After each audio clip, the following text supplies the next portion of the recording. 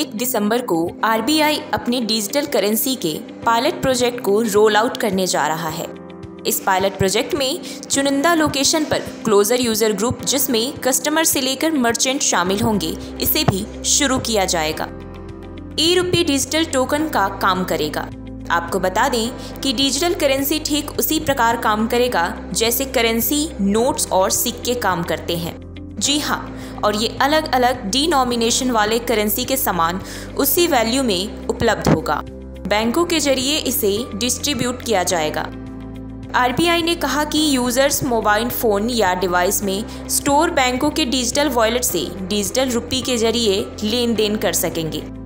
ये transaction person to person यानी दो व्यक्तियों के बीच और पर्सन टू मर्चेंट यानी किसी व्यक्ति और मर्चेंट के बीच किया जा सकता है।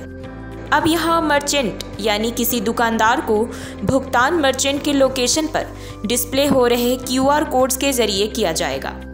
चलिए अब जरा ये जान लेते हैं कि ये लॉन्च कहाँ हो रहे हैं। तो आरबीआई के मुताबिक पायलट प्रोजेक्ट के लिए आठ बैंकों की पहचान की गई है, जिनमें पहले फ़ेज़ में चार बैंक जिसमें भारतीय state bank ICICI bank yes bank और आईडीएफसी फ़र्स्ट बैंक देश के चार शहरों में पायलट प्रोजेक्ट में भाग ले रहे हैं। इसके बाद bank of Baroda, union bank, HDFC और कोटक महिंद्रा बैंक भी जुड़ेंगे।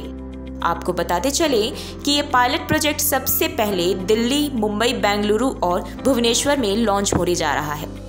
फिर बाद में इसे अहमदाबाद, गैंगटोक, गुवाहाटी, हैदराबाद, इंदौर, कोच्चि, लखनऊ, पटना और शिमला में लॉन्च किया जाएगा। इसके साथ ही बाद में ज़रूरत पड़ने पर पायलट प्रोजेक्ट को और बैंकों यूज़र्स और लोकेशन तक विस्तार किया जाएगा। Bureau report, news world, India.